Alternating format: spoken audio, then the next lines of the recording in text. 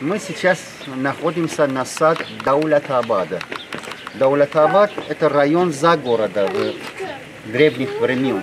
Сад был построен 250 лет назад, точно когда Каримхан Зан основал династию Зан. Он назначал губернатор для района Язва, его зовут Мухаммад Такия Бафки.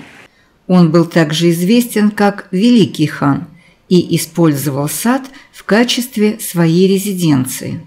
Сад имеет много деревьев. Деревья очень красивые. Вот деревья гранат, инжир и миндаль есть, тутовник есть, все есть здесь. А гранат, я рассказал, вот Иран по производству гранат первый это в мире. Это 500 тысяч тонн ежегодно производится в Иране, выращивают. И у нас более 10 видов э, вообще гранат. Сортов. Сортов. Доулатабад является одним из девяти иранских садов, занесенных в список всемирного наследия ЮНЕСКо под общим названием «Персидские сады». Называется у нас Наранж. Даже на испанском языке у нас есть деревья наранжа. Наранжа. Но это похоже на апельсин. Можно говорить кислый апельсин. Это кислый пока не сезон. Сезон это зимой. А, и от цветов этих деревьев мы используем как лекарство. Это как добав, добавляем с чаем. Это пахнет хорошо. Для циркуляции крови очень полезно. Как и в других иранских садах, вода играет большую роль в украшении Доулатабада.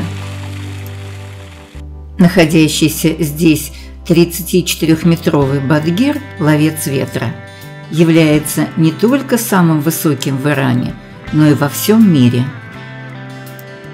Сейчас мы войдем внутри здания, посмотрим, как работал и работает, да, какая система Захватывая потоки ветра с поверхности, за счет разницы давления Бадгир направляет их внутрь, в глубину здания.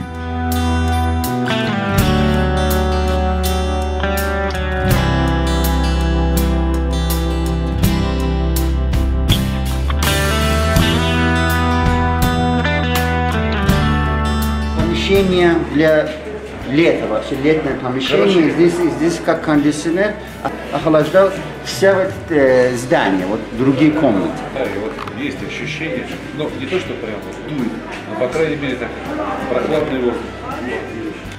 Воздух после попадания в верхнюю часть Бадгира поступает в коридор, связанный с внутренним хранилищем воды, после чего он способен охладить помещение почти на 13 градусов.